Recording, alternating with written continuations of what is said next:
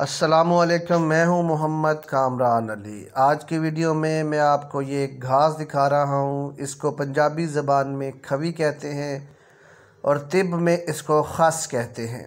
इसका अरक निकाला जाता है। इससे एक ख़ास किस्म की खुशबू तैयार की जाती है, जिसको रूह ख़ास कहा जाता है।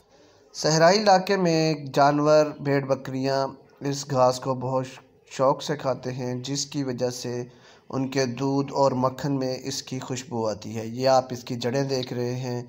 इन जड़ों से ख़ास किस्म का तेल तैयार किया जाता है, जिसे रूह खस कहा जाता है।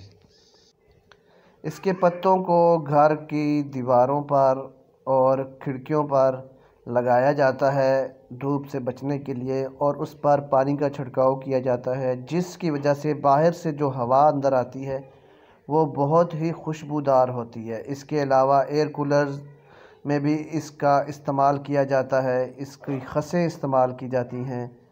इस घास से ख़ास किस्म की खुशबू की वजह से अर्क निकाला जाता है और इसके अलावा असल चीज़ इसकी जड़ें होती हैं।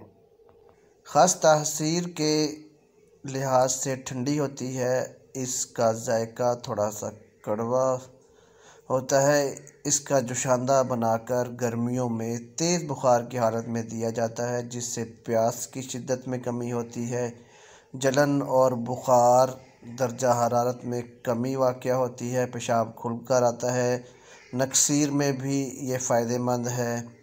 इसके अलावा इसका पानी निकाल कर आप इसको दूसरी ठंडी चीज़ों के साथ मिलाकर जले हुए पर इस्तेमाल कर सकते हैं।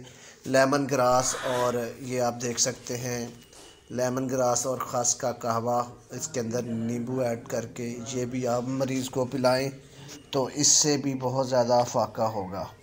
ये आप देख सकते हैं। ख़ास और लेमन ग्रास और नींबू का कहवा तैयार किया गया है।